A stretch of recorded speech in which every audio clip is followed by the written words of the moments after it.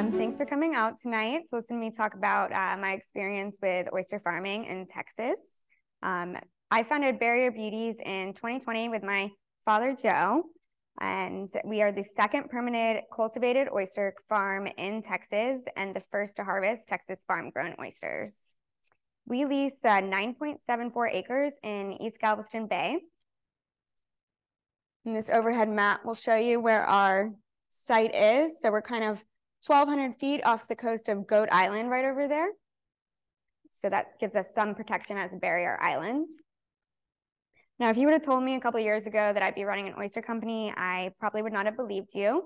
I have a very unique background for an oyster farmer. Um, I'm Jewish and was raised kosher. So I grew up not eating any shellfish, including oysters. so some of my first oysters were actually from our own crop. Um, but since then, I've tried many, many different types, and I really do love them just because they take on the flavor profile of so many different um, types of, you know, water that it's really cool to see all the different farmed oysters. Now, um, in 2020, when the pandemic hit, everything changed for me as well as many others. Um, I was working at a hotel in Aspen, Colorado, which shut down. Uh, so I moved back to Houston and started looking for career change.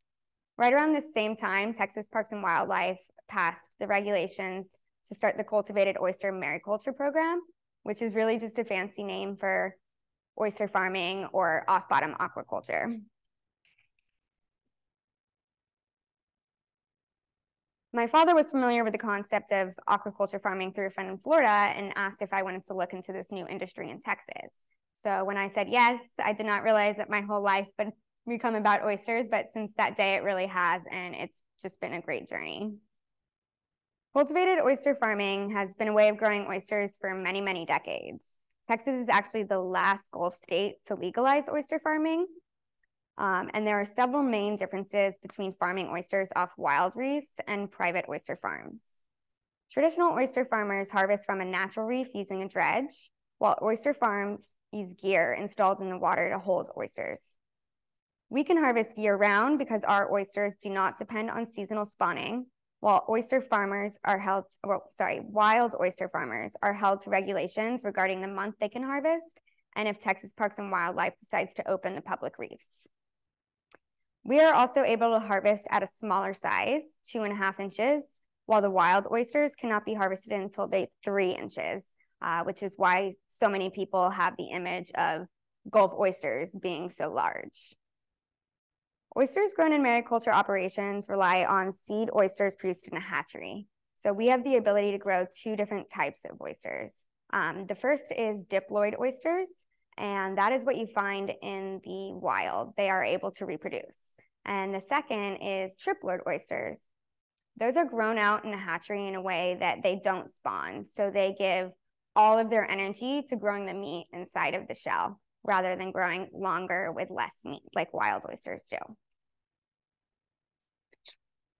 Um, we use both kinds, but a lot of farmers tend to choose just one based on their own opinions of how they've grown on their site.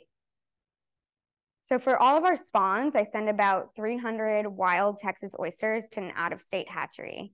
The hatcheries use this broodstock to spawn around 1 million oysters and grow them out to a very small size. They then transfer them out to a grow out farm where they grow them from about one millimeter to six millimeters, um, which is otherwise known as R6 size.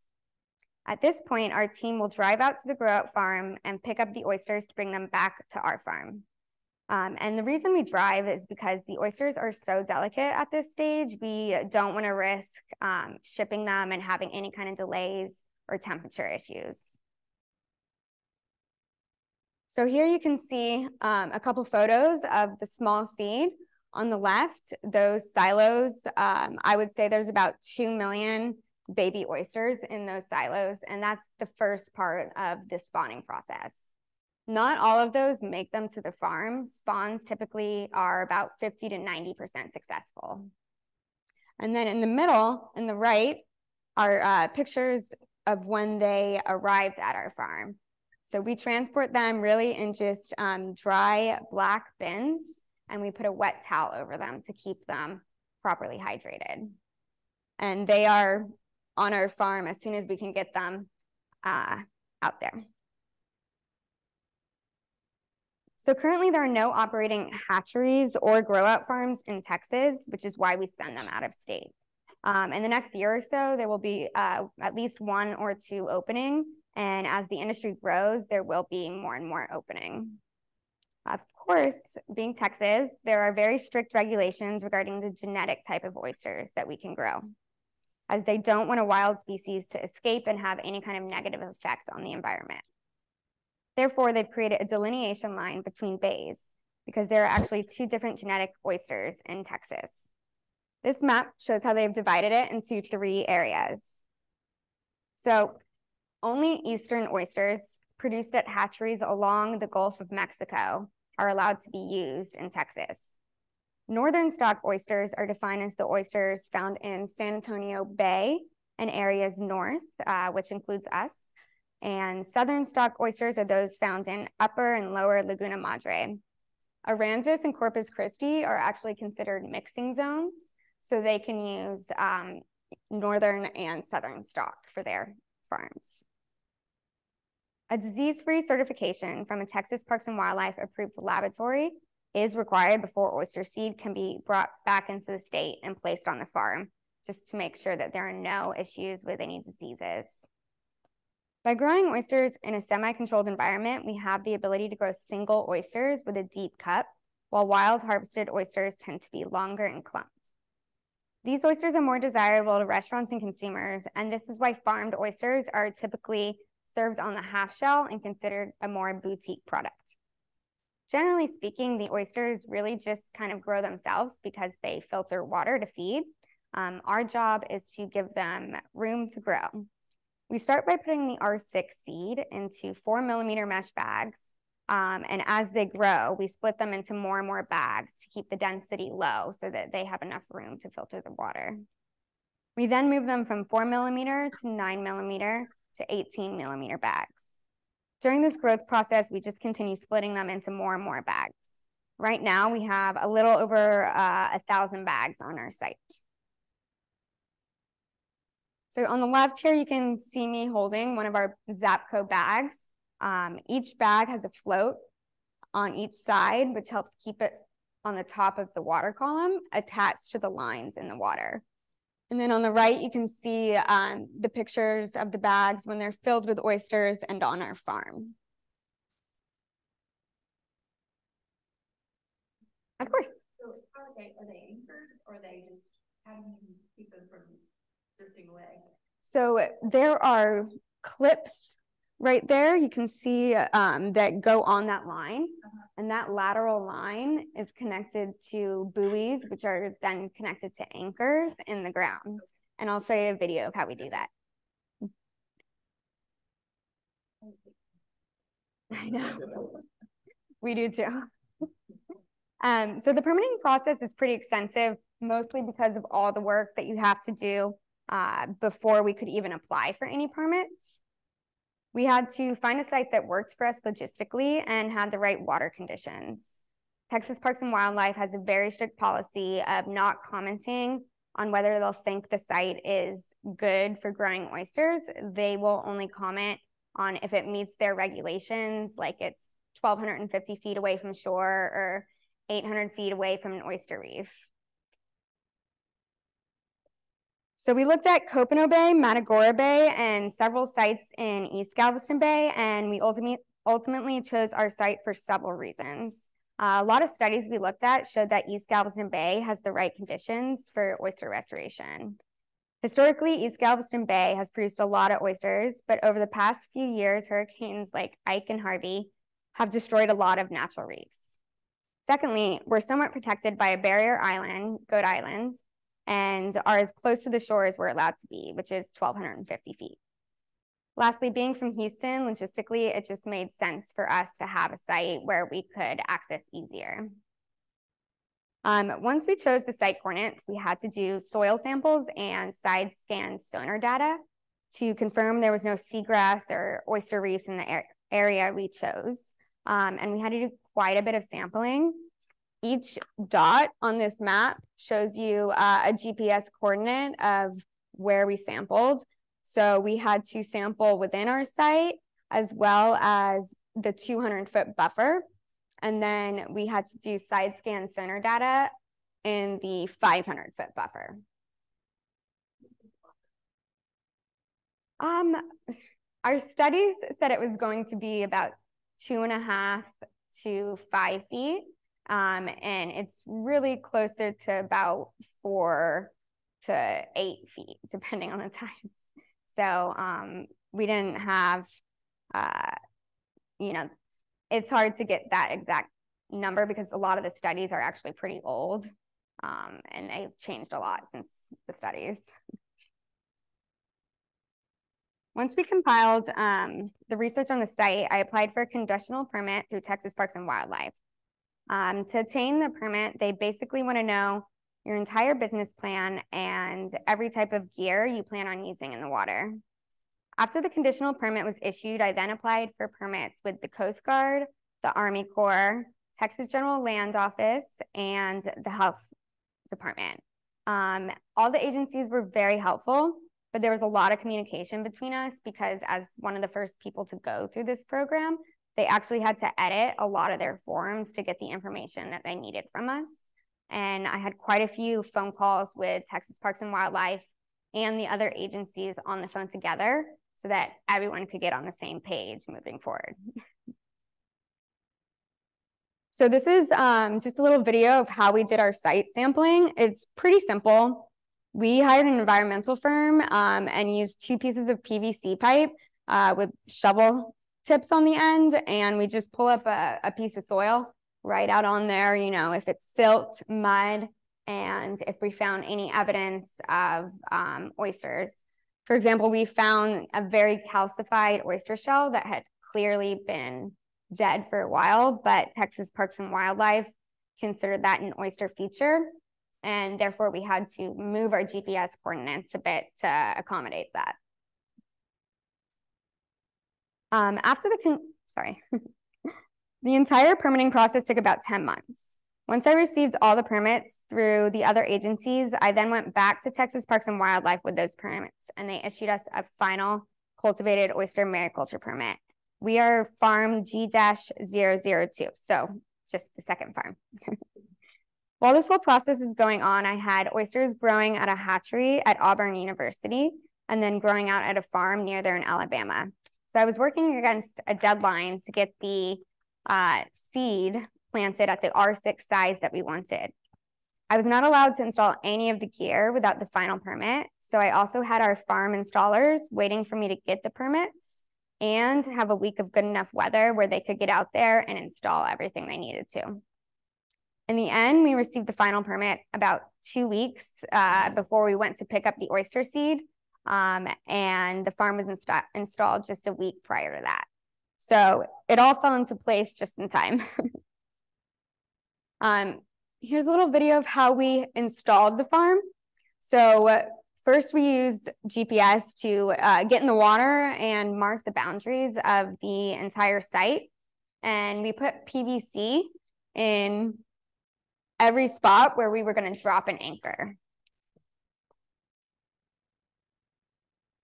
So you can see we're driving by and then those are the buoys perfectly lined up. Um, these yellow corner markers are required by the Coast Guard. They have lights, flashing lights on them for night, um, and they are on the four corners of our site. And it was actually really cool to see um, all these dolphins every day we were out there came out to play and investigate the sounds. They were like super interested in um, the guys screwing the anchors into the ground and the noises they were making, they were swimming up right next to them, trying to play with them and stuff. It was it was really cool. So we've been installing our farm in sections as we grow. Our lines are 100 feet long and spaced 25 feet apart. So every 25 feet, we would drop an anchor and then they would use scuba gear to get in the water and install those anchors. And once those anchors are in, they are pretty permanent. The anchors are attached to the buoys and then connected to the 100 foot lateral lines on top of the water column. And the lateral lines are the lines we use to clip our Zapco bags that hold our oysters onto. Currently, we have about uh, three fourths of our farm built out. So this is the overhead layout that I had to submit to Texas Parks and Wildlife um, as part of my permit. We had to completely create the farm plan and it looks complicated and busy, but most of those spaces are really just anchors, buoys, and lines. Um, they just want to know exactly where you're putting them. So Texas is actually one of the last states that still harvest oysters from natural reefs.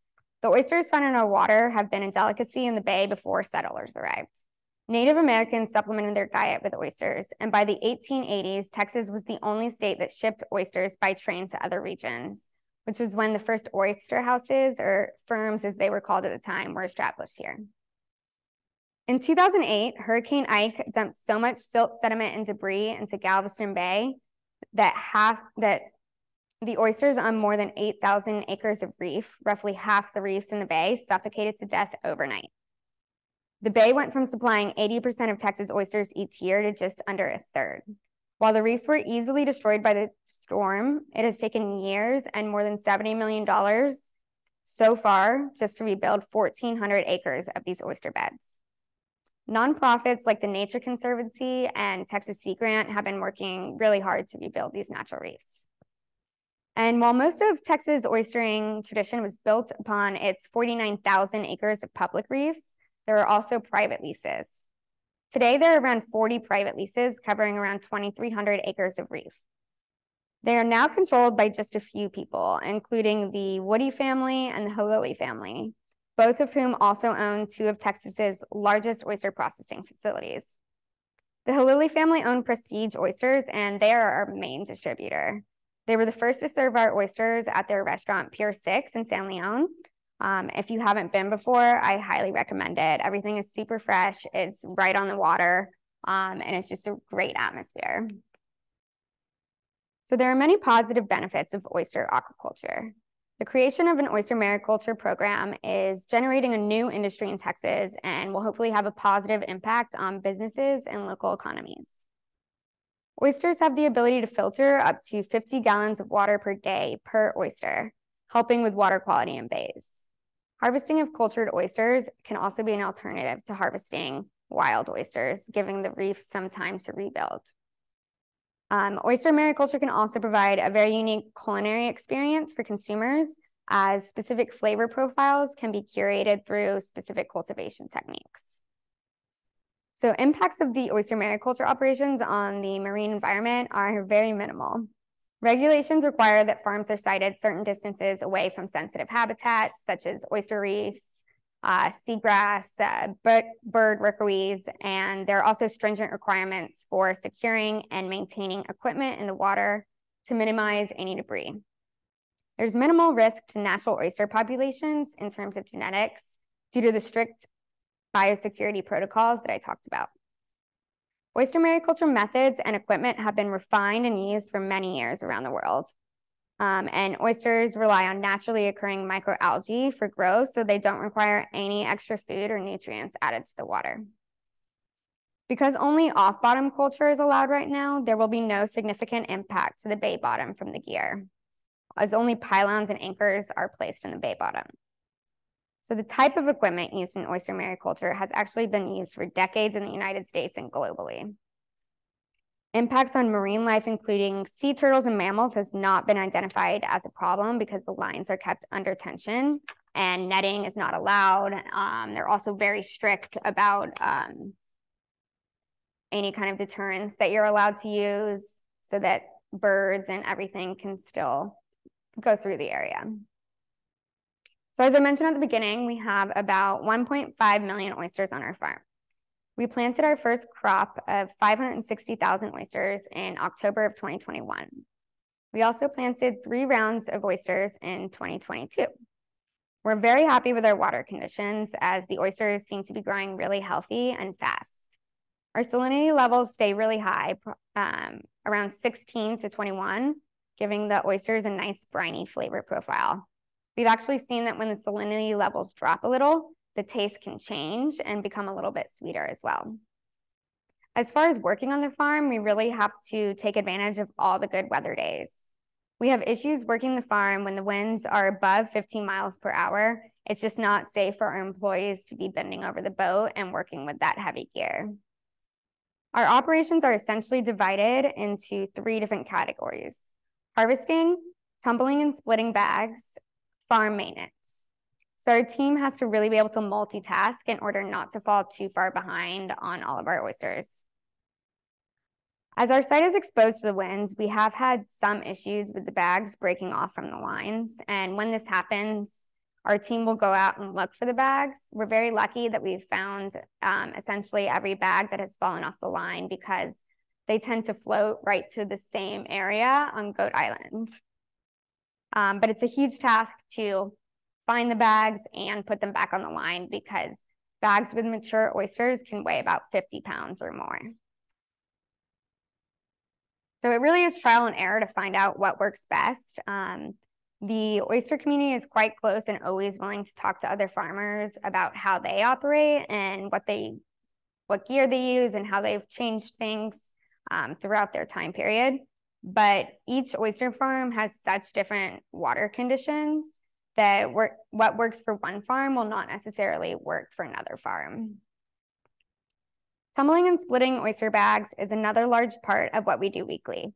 We have to keep the, uh, the density in the bags low so that they don't sink and the oysters have enough room to grow and get the nutrients they need by filtering water. So we try to keep the bags about a maximum of one-fourth filled.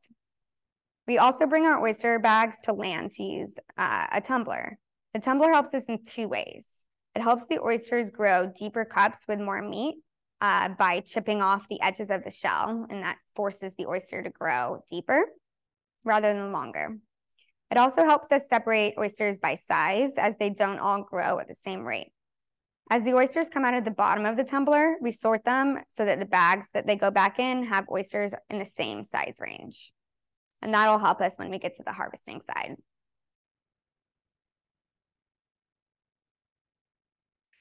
So here is a picture of the tumble tumbler. It's super simple. You push them in on one side and they come out on the other. Um, we actually have two different size tubes. So we have one tube with smaller round holes on it so that these smaller oysters don't just fall through the holes. And then we have a larger tube uh, for more mature oysters.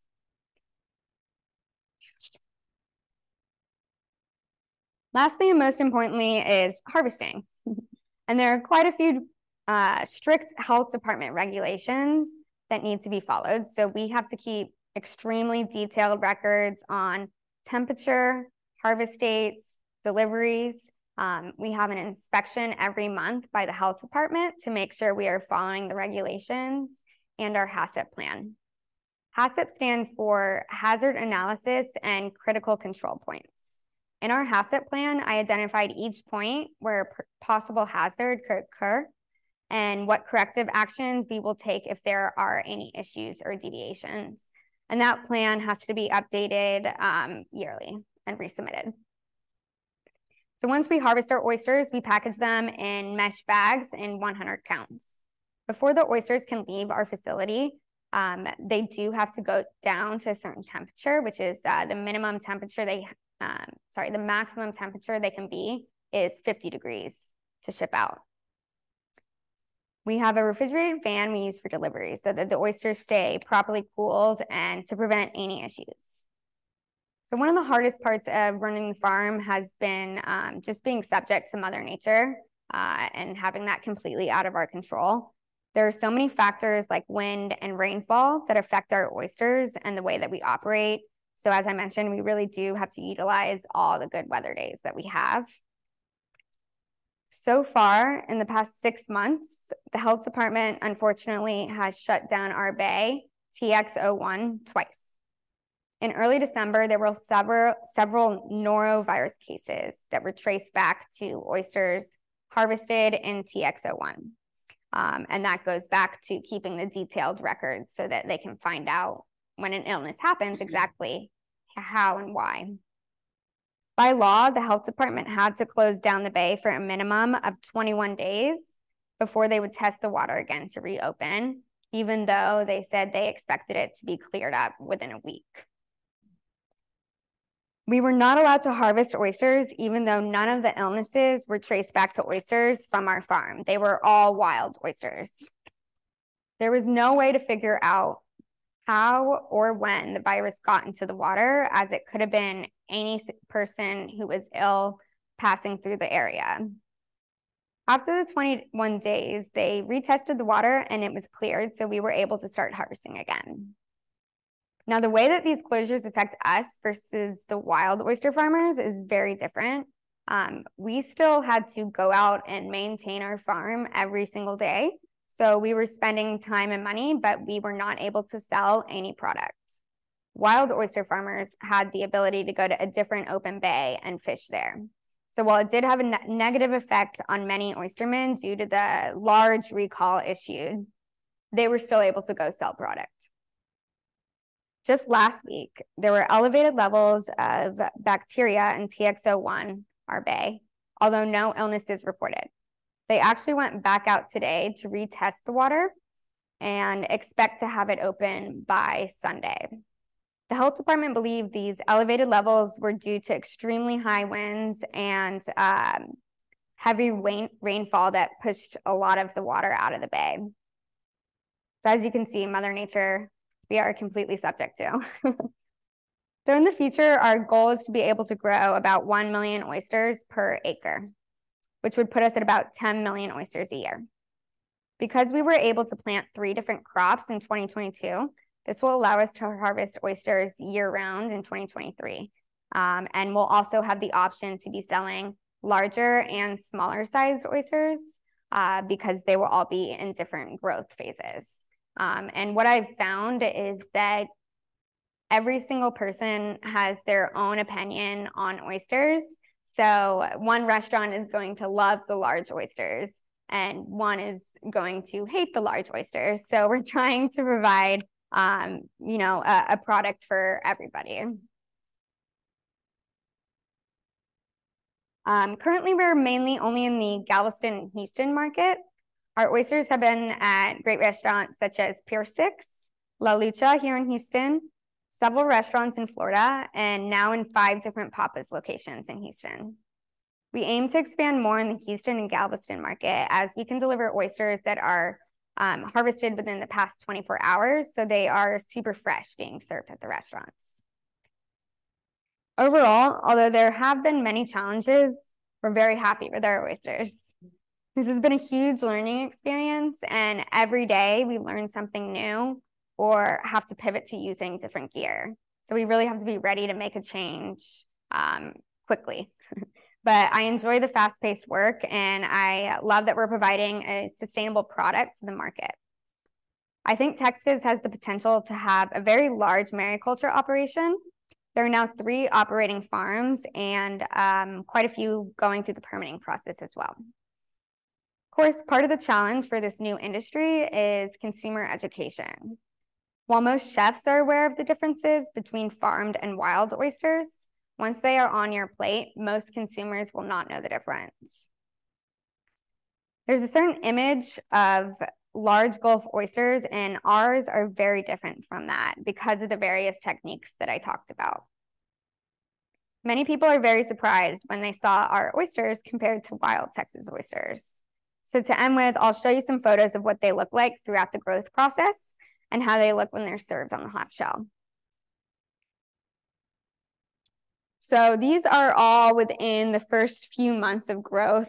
Um, you can see compared to a water bottle top, you know, they're very tiny right there and they continue to grow. Um, the two that I'm holding in my hand right there, the stripe on them is actually a genetic factor because these are triploid oysters. Um, so that was just a genetic factor in the spawn that we did. This is what they look like. This was one of uh, the first bags that we harvested. Um, and it's really just super simple. We cut the mesh bags, measure them out so that we have the right size and put the oysters in them and then stick them in our fridge. And here are a few photos of how they've been served before um, on the half shell with Tabasco sauce and um, Gatlin's barbecue actually uh, roasted them and they were really delicious that way as well.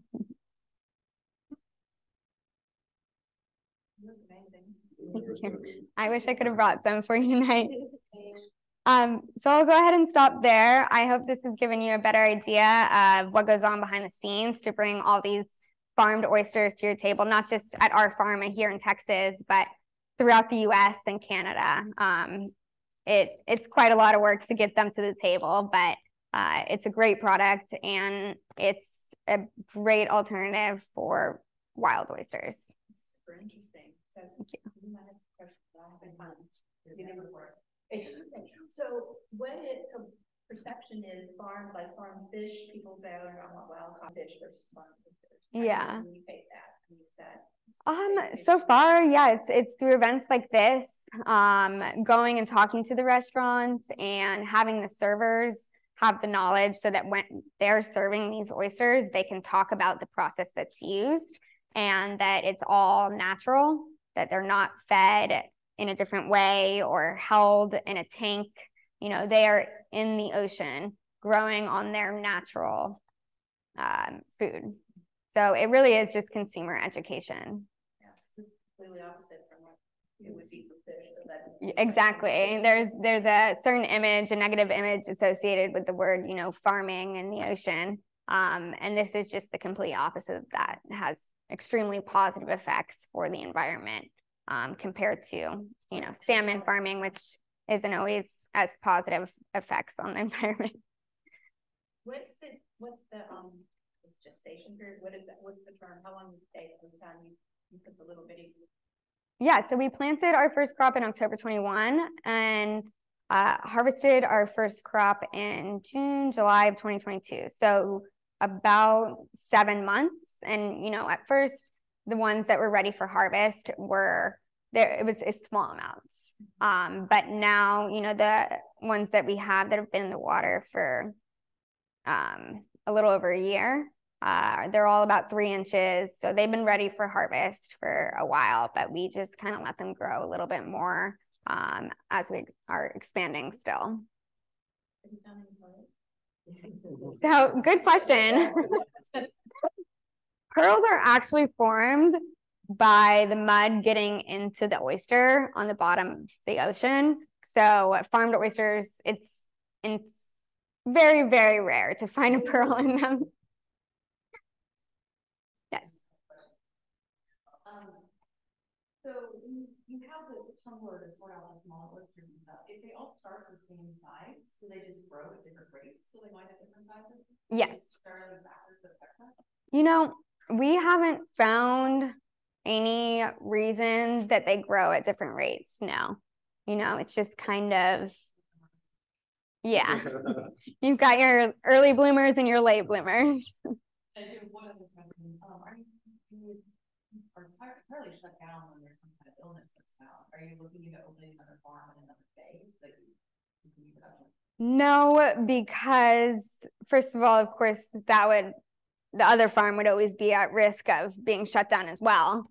Um, but it's an extremely uh, long process, and it does require quite a bit of upfront money before you can see any profit. Obviously, you know, it takes seven months to just sell the oysters and 10 months on top of that for permitting, then the fees you have to pay to all the agencies. So we have not considered looking at another site. To expand the, the perimeter that you have now, if you wanted to and grow it and stay in the area, but just expand it or? So for our site, um, we wouldn't really be able to expand it much just due to the fact that there are a lot of wild oyster reefs around us. So we're pretty much, um, it was like playing a jigsaw puzzle to find a space that would work because, you know, we can't be close to any oil wells, even they, if they are abandoned, and there are quite a few in East Galveston Bay. so our site is the largest we could get it right there. Um, also, right now, Texas Parks and Wildlife does not allow you to expand your site. You actually have to go through the entire permitting process again and start another lease. So technically, it would be a different farm. And you lease the, you lease this from who? Is it? From Texas Parks and Wildlife, uh, Texas General Land Office, um, Army Corps, uh, the Coast Guard. They're all leaseholders? Yes, we we owe fees to all of them. Wow. Just working with The. Yeah. Yes. So what's the most challenging, like the permitting process or the dealing with natural disasters or what, what would you? I would say it's dealing with weather um, and employees. Um, you know, we're located on Port Bolivar, which is a ferry ride from Galveston. And to be honest, we did not realize how hard it would be to get employees from Galveston to come out to Port Bolivar um, because the ferry is pretty inconsistent. Um, you know, sometimes they'll have four running and you can get on in 10 minutes, and sometimes there are two hour waits. So that has really um, made it difficult for us to hire. We've had a lot of hiring challenges. Yes. Uh, are, is there anything you can do to minimize the risk, um, of people getting sick from some of these illnesses? And it hasn't been your stock, is there anything that you and other farmers can do to help reduce that risk? So that's a great question. Um, nothing that we know of currently, but I was actually just approached by an environmental firm who um, is in the process of trying to get a grant to do some research like that to find out why, you know, our oysters were not affected by the virus while wild oysters were.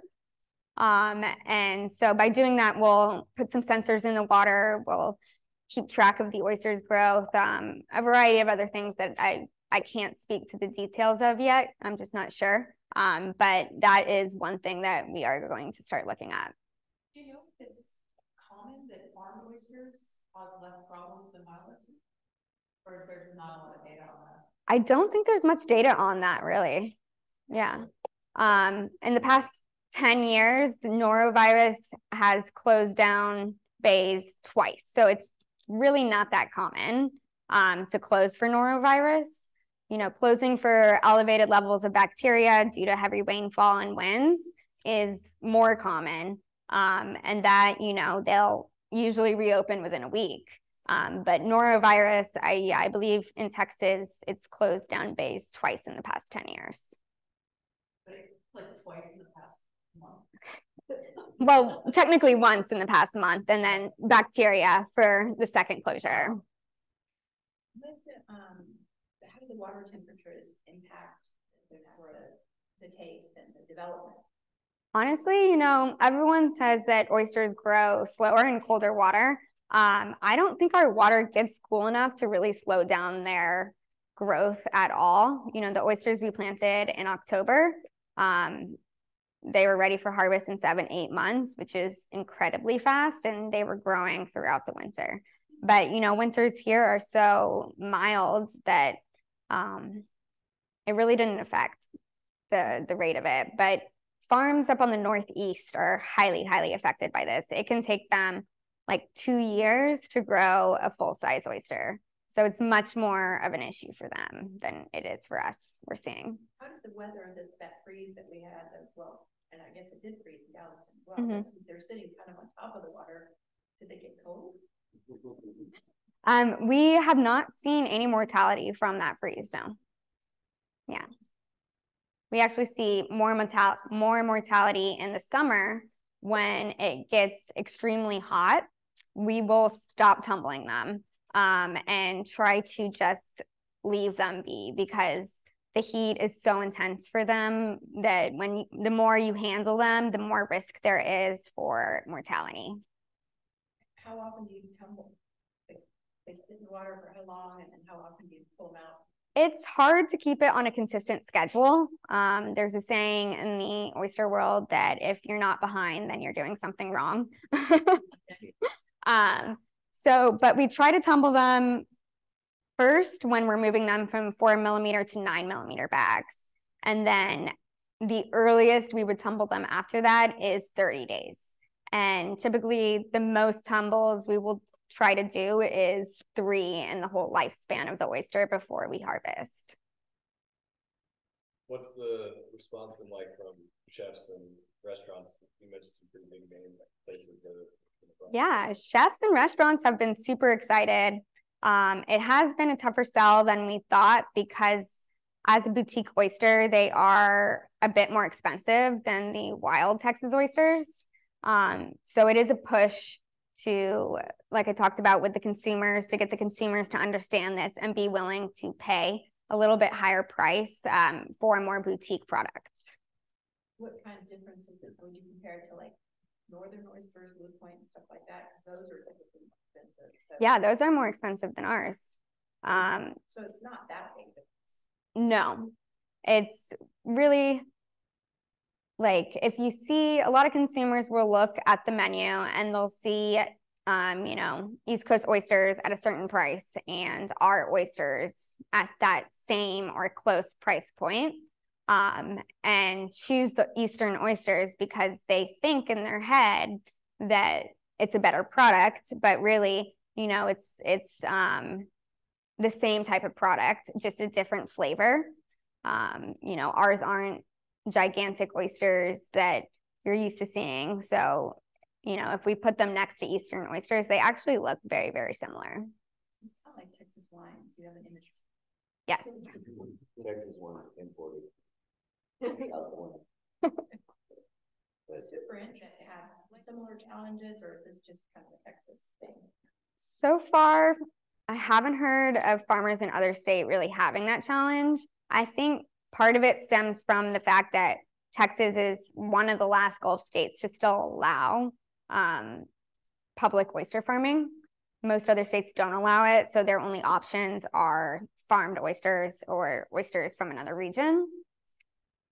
Um, I'm sorry. So public oyster farm. What does that mean? Does that mean like I can go out and go and get oysters wherever I find them? Only in bays that are um, opened by Texas Parks and Wildlife, and they use their own metrics to decide if they think there's enough harvestable size oysters to open up that bay. Right now, I think there are only about three or four bays open out of about 15. Um, and it's a huge debate in the oyster community between Texas Parks and Wildlife and the wild oyster farmers. Um, and, you know, like I talked about, there are the private reefs, uh, which only the people that own them can farm. And they actually spend money rebuilding their own reefs. Um, they do put a lot of oyster shell back onto their own reefs so that they will keep growing and keep providing a product. Super interesting. Is there a lot of available area to do the public, I guess, from oncoming wave you can keep the salinity kind of in check like that. Is that yeah, that's definitely what farmers are looking for. They're looking for the right salinity levels and um, the right conditions in the bay. So uh, the other farms that are operating, um, one is in Copano Bay, um, and they have struggled a lot with their salinity levels. So even though they have really calm water and it's easier for them to work the farm, uh, their salinity levels were about like seven when they planted the oysters. We actually worked together on our first spawn, so they planted them the same time as us. Our salinity levels were about 20 at that time. And the farm that they were coming from uh, in Alabama had salinity levels around 20. So um, I'm sorry? It's better to have it higher? It is better to have higher salinity. And it actually helps prevent disease as well because salt is kind of a, a natural healer. Salt is good. Yes. So if you that are, are like baby oysters that are growing in twenty and you put them in seven, like uh, that can kill a fish. Would it kill an oyster by drastically changing that salinity level? Yes, it will. They just get shocked. Um, when they're that tiny, they are very, very sensitive um, to their habitat. And that's why we don't ever ship them. Like I talked about, you know, we the process of getting to the point where they can go on our farm is about at least six months um, and a lot of paperwork. Um, so right now we uh, have used spawns from Auburn, Alabama and um, Biloxi, Mississippi. But I send out I send out wild oysters, wild Texas oysters to them and then they use that brood stock to spawn. Um, so, you know, for example, the the farms and hatcheries in Mississippi, they can grow other types of oysters. Um, but they had to get approved by Texas Parks and Wildlife to grow ours. And they had to um, create a system where they were separated from any other different type of genetic oyster. So the silos that I showed you in that photo, that was all for our spawn. Um, it was just Texas oysters. No other oysters were allowed to be commingled with them. So some hatcheries and farms don't want to work with us because of that. Um, but some of them do because there are no hatcheries in Texas. So right right away, you've got three farms in Texas that need oyster seed.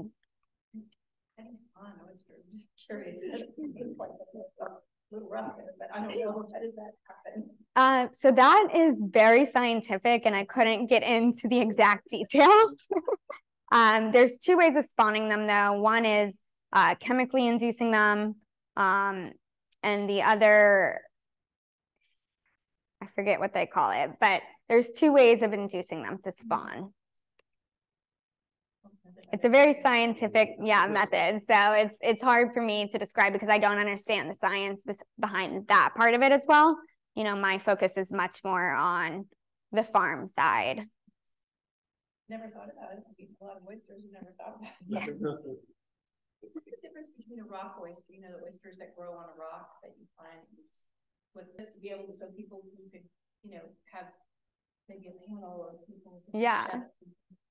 Yeah, no, we're definitely trying to hold more events like that in Houston um, to just, like I talked about, get the consumer knowledge that these are a very different product than what you are used to seeing in Texas. Awesome. Well, thank you. This has been really super fun. Thank you. Really I'm so glad everyone came out. Yeah. I don't know if we may have already said this, but why did you pick the location that you chose? So we picked it because it has the right water conditions, like I talked about. And then logistically, like being from Houston, it just kind of made sense for us to find a site where we could get to in about an hour and a half, um, rather than, for example, Copano or Matagorda Bay, which would take, you know, four or five hours to get down there if we needed to, and would probably would have required a, a move on on my part. Did you view like multiple areas? Yes, we looked at several different bays and several different sites in um, East Galveston Bay. And ultimately, it came down to uh, how close we could be to shore um, and just kind of like playing a jigsaw puzzle of being far enough away from the reefs and oil pipelines and everything like that that the all the departments require. About recreational boating, and things like that, where you are, do you get a lot of traffic? Actually, yes, we do. Um, we are in a spot, which I did not know this when we picked the spot, but apparently it's very popular with fishermen. Um, very familiar with that spot. yes. But um, studies have shown that oyster farms actually increase the fish population in the area just because the water the fil they filter. Um, so whenever fishermen, we have a lot of people that drive by and are like, you know, what is all of this? They have no idea what it is. So, you know, they'll stop and they'll talk to our team out there on the boat. And, you know, we tell them, you know, legally they have the right to drive through our site. We cannot tell anyone that you're not allowed to have access through our site. And we do have channels for boats to go through. Um, but we do tell everyone that we talk to, it's best for you to just go around because there's a lot of submerged gear and it can hurt our gear, but also it can kill your engine and damage your boat if you are getting caught up in an anchor and chains and stuff like that. Um, there it seemed I think there was one event where it seemed like a boat came through and kind of knocked something out of place. I can't remember exactly what it was. It wasn't significant enough to cause a huge problem, but you know, most people see it and um, they don't even want to go through it because of all they want, everything they see. So we've been lucky. Yeah. Yeah. When you have a customer, is that when you harvest or I say you have to harvest at a certain time and you, you find a customer or no, it, we only harvest when we have orders. So because when we they're, they're, gonna keep growing and growing. Though. Yeah, but we have seen that right now they're about that three inch size, and as they've hit that size, their growth seems to have slowed a little bit. And that could be the fact that they're triploid oysters, so they're, you know, genetically different than the diploid oysters. And um, sometimes the spawns just have certain qualities that you can't really explain or understand. It's just genetics. Um, so we have ha- seen the growth slow when it, when it's gotten to that size, but we will not take them out of the water for harvest unless we have orders. Because if we take them out of the water to harvest, um, they'll die if we don't sell them, and then we're just wasting product.